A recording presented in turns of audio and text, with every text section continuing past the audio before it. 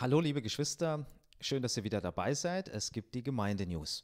Und ähm, die mache ich wie gewohnt nicht alleine, sondern Matthias an, ist an meiner Seite. Hallo Matthias. Halli, hallo. Ja, wir haben uns ähm, einige Zeit nicht gesehen, aber heute haben wir wieder eine Übergabe gehabt. Und zwar hast du mich informiert, was es alles gab. Ich war ja 14 Tage im Urlaub. Genau, und ich habe allerdings auch versucht, die, an den Gottesdiensten teilzunehmen, wie viele von euch ja auch, nämlich über die Online-Möglichkeiten. Ich habe gemerkt, da gab es noch ein bisschen äh, Wachstumsräume. Ja, es werden ein bisschen Probleme mit dem Ton und wir hoffen, dass wir sie für die Zukunft ausgeräumt haben. Ja, das sind Dinge, wo wir lernen und wachsen. Ich hoffe recht bald. Ja, genau. schnell. Äh, was war Antoine auch da? Der hat hier so ein paar Sachen an meinem Computer gerade gemacht, äh, weil ich da so, so einen äh, fiesen Ton hatte im Ohr. Den wollte ich jetzt den Zuhörern nicht zumuten. Und äh, hat mir schon gesagt, dass ähm, sie Checklisten erstellen und dass das natürlich, dass immer was daneben gehen kann, weil auch viel ausprobiert wird. Also ähm, das finde ich auch toll, dass unsere Techniker dran sind, ähm, nicht stehen bleiben, sondern versuchen, die Dinge zu ergründen, vielleicht besser zu machen. Dann passiert natürlich auch sowas. Und jetzt ist alles live. Das bedeutet, so ein Fehler, den kann man nicht über, über Nacht nochmal ausbügeln und dann eine Aufnahme reinstellen, sondern das kriegt dann jeder mit. Aber ich denke, ihr werdet das auch nochmal verzeihen und ähm, und wir sind ja dankbar, dass wir unsere Techniker haben und dass sie sich so viel Mühe geben. Ja, weil der Einsatz ist auch enorm und wir können so dankbar sein, dass wir eigentlich so viele Techniker auch haben. Und ähm, klar, es sind immer neue Herausforderungen und jetzt mit Live, äh, das ist praktisch wie im professionellen Fernsehen auch.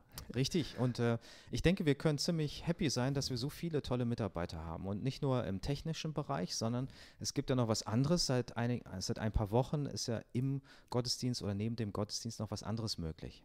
Ja, Kindergottesdienst. Und da sind wir echt sehr, sehr gut aufgestellt. Also die gesamten Sommerferien hindurch haben wir zwei Gruppen mit jeweils zwei Leitern.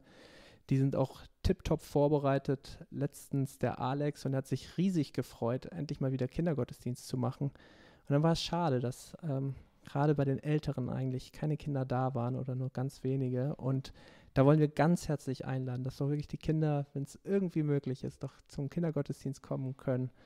Ähm, ja, manchmal ist schönes Badewetter, aber es ist sicherlich auch nicht langweilig im Kindergottesdienst. Wir sind oft draußen, singen, spielen, viel Action für die Kids und ähm, natürlich auch richtig Gutes aus der Bibel. Ja, also Joshua war ja auch einmal dabei, danach sind wir in den Urlaub gefahren. Wir waren übrigens in Süddeutschland bei ähm, Schwiegereltern und haben auch meine Mutter besucht, meine Schwester ist noch gekommen, ähm, auch mit äh, meinem Neffen und das war eine tolle, äh, runde Sache. Wir haben auch dann die Gottesdienste versucht ähm, mit zu verfolgen oder was es auch Neues gibt äh, hier in Osnabrück. Ähm, und Joshua war ganz begeistert, also von dem Mal, wo er da war. Und ich finde das toll, dass es diese Möglichkeit gibt. Deshalb auch äh, von meiner Seite eine wärmste Empfehlung. Ähm, Familien, ja, kommt einfach wieder. Ich denke, ihr vermisst es wahrscheinlich auch. Und da erwartet euch ein wunderbares Programm. Und vielen Dank an all die Mitarbeiter, die das möglich machen. Ja, und jetzt ist es ja auch möglich, äh, sich online anzumelden. Sprich, bis Freitagabend auf Anmeldung at efg-osnabrück und jetzt wichtig mit ue geschrieben.de. Ähm, da kann man sich also anmelden, ist kein großer Aufwand mehr. Zweizeiler genügt und äh, dann auch gern die Kinder erwähnen und dann sind die eingeplant.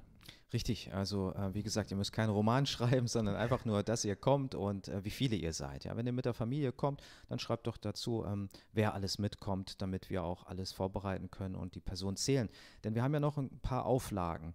Und ähm, ich weiß gar nicht, wie war jetzt der Gottesdienstbesuch in den letzten zwei Wochen? Das sind ja Sommerferien. Ja, war sehr gut. Also vor einer guten Woche waren es gut 85, vielleicht knapp 90 Gottesdienstbesucher. Und jetzt, ja, denke ich, bei der Sonntag-Gottesdienst waren es vielleicht so gut 70. War ein bisschen ja. weniger. Es war ja auch sehr heiß, ne? Ja. War nicht ja. ganz so viele da. Ja, das spürt man auch. Ne? Und wie gesagt, online was nachzuverfolgen kann ja auch manchmal recht bequem sein. Äh, man hat allerdings ein paar Sachen nicht, wie zum Beispiel den Kindergottesdienst. Den müsste man auch online machen. Da gibt es auch tolle Angebote. Also wer sich noch scheut zu kommen, der findet da natürlich auch tolle Sachen, aber die Begegnung von Mensch zu Mensch, die kann man schwer ersetzen, besonders nicht auf Zeit. Also auf, man merkt es mhm. auch, mir haben das immer wieder ja. Leute gesagt, dass sie das jetzt spüren, eine Sehnsucht danach, wieder Gemeinschaft zu haben. Ja, aber es ist eine tolle Nachricht, dass auch so viele wieder kommen, nach und nach. Ähm, wir haben allerdings immer noch Einschränkungen. Also es findet nicht alles statt. Es war jetzt mal im Gespräch, das Café zu öffnen. Das halte ich noch für ein bisschen früh. Die Infektionszahlen sind auch wieder gestiegen. Ich glaube, gerade im Café macht das ähm, einen immensen Aufwand, äh, das zu gewährleisten. Ähm, sowohl mit dem Abstand, aber auch mit den Leuten, die im Café dienen oder dann auch ähm, wirklich an den Sonntagen für andere Menschen da sein wollen. Die müssen dann die Auflagen erfüllen. Für die ist das sehr unbequem. Ich weiß nicht, wie siehst du das? Würdest du ähm, jetzt den Café einführen, das Café wieder öffnen? Ja, ich finde so die Zahl von 1000 Neuinfektionen, das würde ich so ein bisschen so als eine kritische Schwelle sehen. Ne? Mhm. Wenn es konstant über 1000 ist, dann, dann würde ich eher davon abraten. Wenn wir drunter fallen und das ist längere Zeit so, dann ist es eher ein Zeichen dafür, dass sich die Situation wieder entspannt. Dann wird das etwas aufwendiger, aber dann könnte ich es mir wieder vorstellen. Ne? Also da geht halt nichts mit Buffet und Selbstbedienung, sondern wirklich, äh, es muss alles sehr gut koordiniert werden und so wenig wie möglich äh, Personen dürfen irgendwas in der Hand haben. Das, das muss man alles bedenken, ja. Ja, also es ist doch eine Menge, was man beachten muss oder was die Mitarbeiter dann auch einüben müssten. Ja, ähm, aber es gibt auch noch eine weitere tolle Nachricht. Ich denke auch, was zentral ist jetzt bei den News. Und zwar wird es einen Open-Air-Gottesdienst geben. Am 6. September, also in nicht allzu ferner Zukunft, wird es die Möglichkeit geben, dass wir Gemeinschaft im großen Rahmen haben. Ihr habt ja immer wieder gehört auch, dass wir die Gemeinschaft, die wir hier pflegen, sonntags, dass die ähm, unter Auflagen stattfindet, aber auch zahlenmäßig eingeschränkt ist. Das heißt, wir können nicht als ganze Gemeinde zusammenkommen und das, ja, das macht das Herz schon schwer, aber da ist es möglich. Am 6.9. wollen wir einen Open-Air-Gottesdienst feiern und zwar auf dem Hof von Hartmut Birth in Wimmern. Ähm, die meisten von euch kennen das schon. Ich weiß nicht, ob du schon mal in der Gegend warst. Hm, kann mich nicht entsinnen. Ja, viele von uns waren auch nur deshalb da, weil ähm, Hartmut und seine Familie uns den Hof geöffnet haben und wir dort auch schon ja. mal einen Gemeindetag verbracht haben. Da, das war super toll. Ähm, Hartmut, Irmhild, ähm, seine ganze Familie ähm, machen auch jeden September oder zumindest jeden Herbst ähm, in jedem Jahr, in dem ich jetzt hier war und ich glaube schon viele Jahre davor, ein, ein großes Fest von ihrem Hauskreis aus. Das ist ein gemischter Hauskreis, auch aus ihrer Gegend. Ähm, diesem Hauskreis sind sie schon seit vielen Jahren treu und die machen ein ganz tolles, großes Fest. Dieses Jahr wird es ausfallen aufgrund, denke ich mal, von mhm. Corona. Und stattdessen haben wir jetzt die Möglichkeit, wir haben da mal angefragt und so traurig wir natürlich auch mitfühlen ähm, oder so traurig das ist, dass ähm, Hartmut dieses Jahr diese, dieses Fest, dieses Hochfest nicht feiern kann. Ähm, ich denke, das ist ein guter Ersatz, dass wir als Gemeinde dort auflaufen können und ich freue mich umso mehr, dass wir jetzt diese Möglichkeit haben. Auf jeden Fall. Und ich freue mich auch, dass nach dem Gottesdienst dann wahrscheinlich auch äh, wieder viel mehr Gespräche möglich sein werden. Das ist jetzt so ein bisschen schwer, äh, nach dem Gottesdienst ähm, dann äh, mit Masken drinnen oder weiß nicht, es verläuft sich doch sehr schnell. Und wenn man dann draußen ist, in Wimmern, ne, draußen bei Birz, da habe ich schon ein bisschen die Hoffnung, dass man mit Abstand doch mit ein paar mehr Leuten reden kann und einfach die Zeit zusammen noch viel mehr genießen kann. Richtig. Und damit alles rechtens zugeht, müssen wir das wahrscheinlich auch mit Anmeldung machen. Mhm. Das ist aber nicht weiter tragisch, das geht äh, wie auf den üblichen Wegen. Ähm, alle Informationen wird es dazu in Kürze geben. Es wird auch ein Bus arrangiert werden. Und ihr wisst, im Bus sitzt man manchmal eng auf eng und das wollen wir genau vermeiden. Darum werden wir auch schauen müssen, dass je nachdem, wie viele Leute sich dann für, den, für die Busfahrt interessieren und anmelden, dass wir einen geeigneten Bus oder Busse dann zur Verfügung stellen damit ihr euch keine Sorgen machen müsst, damit ihr diesen Tag genießen könnt und wir dann gemeinsam auch in der Erinnerung schwelgen dürfen im Anschluss an den 6.9. Haltet euch bitte diesen Termin frei, tragt ihn schon mal im Kalender ein. Das ist kein Allerweltstermin, sondern das ist wirklich was Besonderes, gerade jetzt in dieser Zeit. Ja, ähm, Genau, das war es eigentlich von meiner Seite. Ich weiß nicht, ob es noch äh, was von deiner Seite gibt, irgendwas hinzuzufügen. Gab es irgendwas Besonderes oder ist irgendwas Besonderes in Aussicht?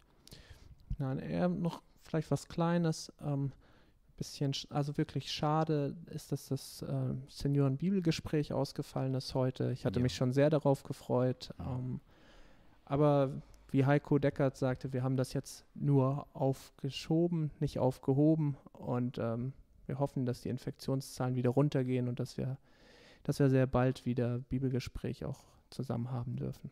Ja, genau. Und äh, wenn eure Veranstaltungen, eure Versammlungen auch im kleinen Kreis, beispielsweise Hauskreis und dergleichen mehr, zurzeit nicht oder auf anderen Wegen stattfinden. Ähm, wir wollen euch da, egal wie ihr das macht, wir wollen euch einfach die Rückendeckung geben. Macht es so, wie ihr euch gerade auch ähm, sicher und gut fühlt. Wenn ihr meint, ähm, dass ihr euch gerne treffen wollt, dass ihr wieder Präsenzveranstaltungen machen wollt, fragt mal eurem Kreis und dann könnt ihr euch mit Gleichgesinnten auch wieder treffen. Natürlich immer unter der Einhaltung aller Regeln. Aber wenn ihr sagt, ich möchte noch vorsichtig sein oder wir haben in unserem Kreis einfach Leute, die ähm, ängstlich und vielleicht auch zu Recht äh, zu, der, zu der besonders ähm, gefährdeten Gruppe gehören, aus, aus gesundheitlichen Gründen, dann nehmt doch davon auch weiterhin erstmal Abstand. Geht auf Nummer sicher, so dass ihr euch wohlfühlt in euren Kreisen und dass ihr da kein schlechtes Gewissen haben braucht. Ja? Und das wollen wir auch weiterhin unterstützen. Es ist einfach gerade eine sehr oder eine ausgesprochen angespannte Zeit. Niemand weiß genaues, die Zahlen verändern sich, die einen machen sehr viel Angst, die anderen ähm, reden es vielleicht auch sehr klein. Vielleicht ist die, die Wahrheit irgendwo in der Mitte. Mhm. Und wir wollen euch Mut machen, wir wollen für euch da sein und macht es so, dass ihr euch mit euren Gruppen wohlfühlt. Ja, würde ich auch sagen. Und wir werden natürlich immer sehr regelmäßig schauen, ne, was ist der Status quo, wie sieht die Situation aus, wir können nicht zu weit im Voraus schon Dinge zusagen oder festmachen, aber wir hoffen, ja, dass uns Gott wieder so viel Gnade schenkt und dass, falls äh, es im Herbst wieder ein bisschen ansteigt, dass es auch wieder sehr, sehr glimpflich alles verläuft und, und wir nicht viele Corona-Fälle hier in unserem Umfeld haben. Jawohl, also das ist auch ein Gebetsanliegen. Jetzt haben wir euch schon eigentlich ähm, durch die Hintertür ein paar Gebetsanliegen vorgelegt. Ähm, bitte betet dafür, dass ähm, der Gemeindealltag auch immer weiter entspannter zugehen kann, dass wir das auch gut hinkriegen, weiterhin mit dem Kindergottesdienst, dass Familien wiederkommen können. Bitte betet auch für den 6.9. Einmal natürlich, dass das Wetter mitspielt, das liegt absolut nicht in unserer Hand, aber auch, dass wir wirklich einen, einen tollen Gottesdienst, einen, ja, einen gesegneten Sonntag miteinander verbringen können und dass alle Dinge, die damit verbunden sind, zum Beispiel mit, dem, mit der Organisation oder mit den Busfahrten und so weiter, dass alles glatt läuft. Bitte denkt aber auch an unsere Senioren und auch an die Kranken der Gemeinde, hm. dass sie in dieser Zeit ähm, wirklich wissen, dass Gott sie trägt und dass er sie bewahrt. Wir sind auch für alle Bewahrung, die wir bisher erfahren haben, zutiefst dankbar. Und ähm, ja, jetzt wünschen wir euch noch ähm, entspannte Tage. Es ist es ist echt sehr heiß, hier gerade auch in meinem Büro. Ja. Und vergesst bitte nicht zu trinken. Ne? Ja. Es ist wirklich warm. Also mir läuft hier auch gerade der Schweiß in Perlen runter. Richtig, genau. Ähm, es gibt Möglichkeiten, sich abzukühlen, auch ähm, zum Beispiel im Moskau-Bad. Da müsst ihr euch auch anmelden. Macht euch mal im Internet schlau. Das, das machen die auch ziemlich interessant. Ja, mit Blogs, mit Zeitblogs, vormittags, nachmittags, mit Online-Anmeldungen. Ja, das ist. Ähm, das ist alles neu, aber das kriegt ihr auch hin, wenn ihr das wollt. Ähm, ansonsten auch an diejenigen, die gerade noch im Urlaub sind und jetzt einfach die News sehen und mal reinhören, wünschen euch auch weiterhin einen gesegneten, einen entspannten, einen erholsamen Urlaub. Ja, stärkt euch gut. Bis dann. Bis dann. Tschüss. Tschüss.